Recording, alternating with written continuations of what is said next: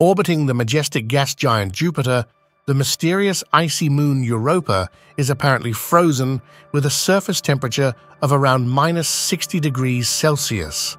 Despite the harsh conditions and relentless radiation, Europa is one of the most promising places to search for alien life. So, how can life survive such an extreme moon? And if there is, what could it look like? You are watching Space Facts. Don't forget to subscribe and like this video. Many spacecraft have passed through Europa during their missions, but it was NASA's Galileo spacecraft that took our understanding of this icy moon to a new level. He discovered the first hard evidence that there is a huge ocean beneath its surface, possibly containing two or three times more water than the entire Earth. Arriving in the Jovian system in December 1995 with the aim of exploring Jupiter and its large moons, Galileo flew past Europa several times and came as close as 2,001 kilometers to its icy surface. It captured the frozen ground itself in incredible detail, allowing us to see up-close views of its crevices, ridges, and jumbled landscapes but it also found intriguing evidence of what might be happening below its crust. Galileo confirmed that Europa was geologically active. Its close-up images revealed enormous cracks in the moon's surface, with dark, icy material flowing into the open gaps. Similar to previous spacecraft, Galileo found only a handful of impact craters, suggesting a relatively young surface that has been smoothed over time possibly by volcanic activity.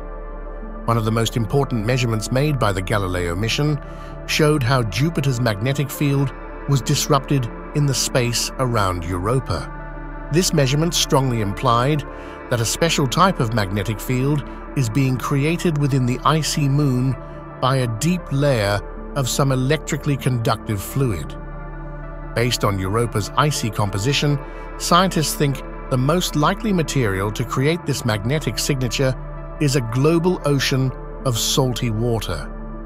There are even images from the Hubble Space Telescope that appear to show huge plumes of water vapor erupting from Europa's south pole, although unfortunately, they are not high resolution enough to be definitive.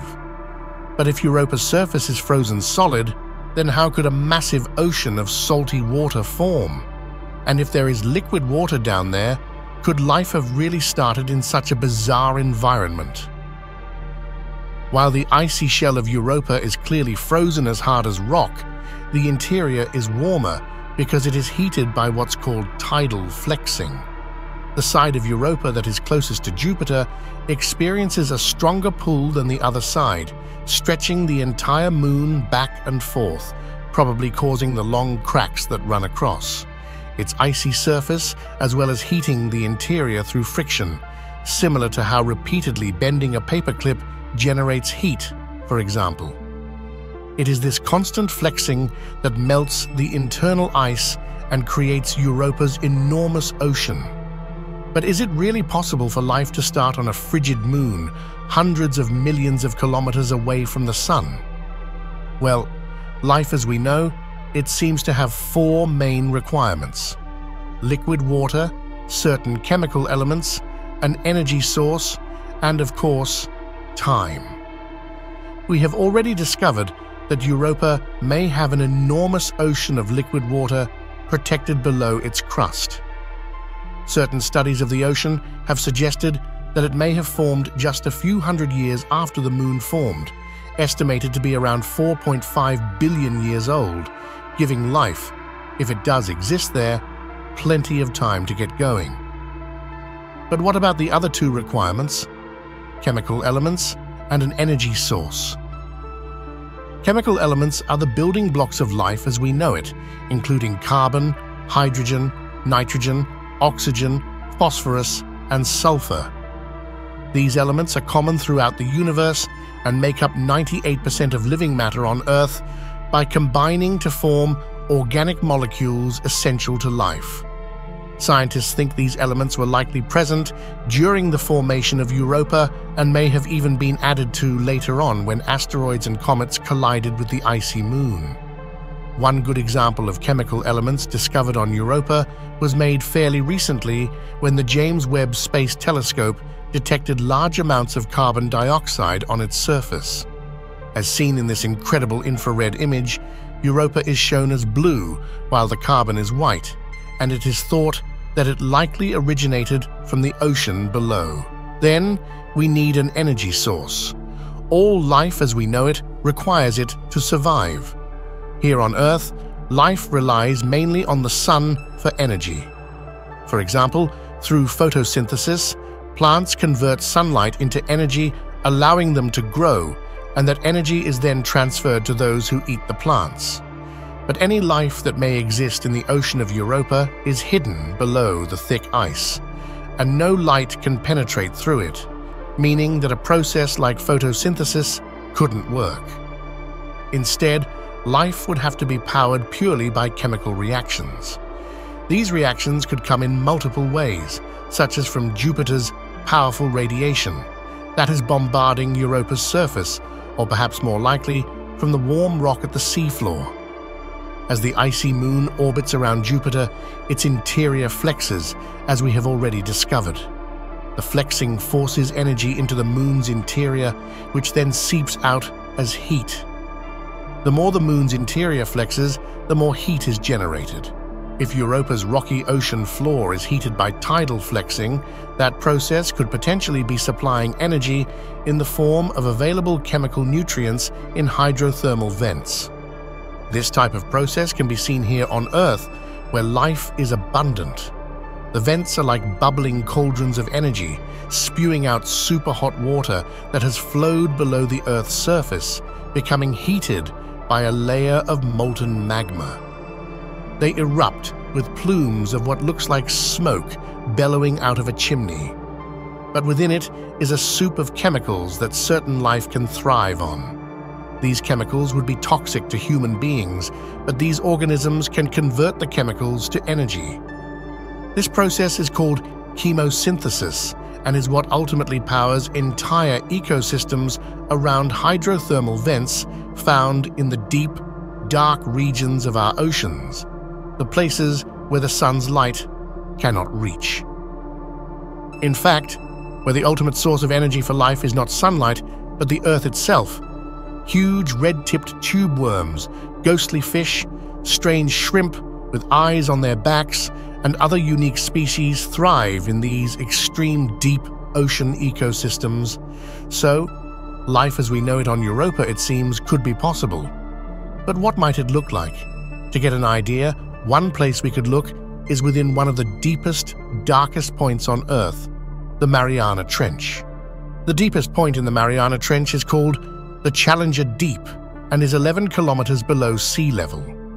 It is difficult to comprehend how deep that actually is, but if you placed Mount Everest there, the peak of the mountain would still be more than 2,000 meters below sea level.